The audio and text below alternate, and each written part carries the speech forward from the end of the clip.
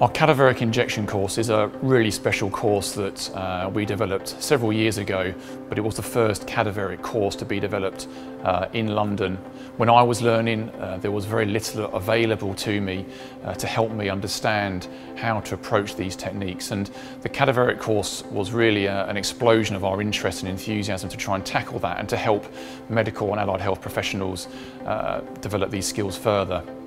The benefit of doing ultrasound guided injections on cadavers, which is what we do in our cadaveric course, is that you're able to guide a needle to a target structure of human anatomy and do that repeatedly without having any you know, safety concerns or anything that you would be having if you were to practice this on live humans.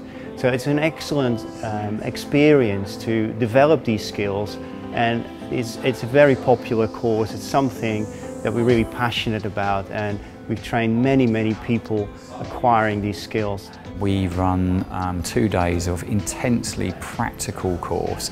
So um, most of the theory and most of the um, supporting lectures are, we have developed and are available to be watched by delegates online.